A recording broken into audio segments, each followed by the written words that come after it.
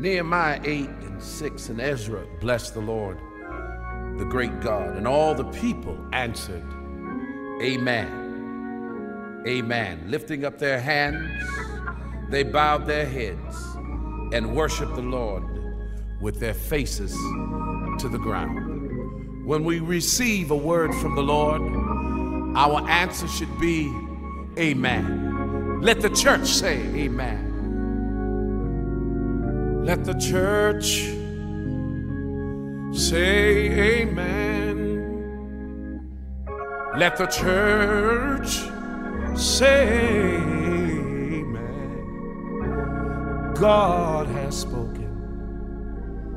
So let the church say Amen.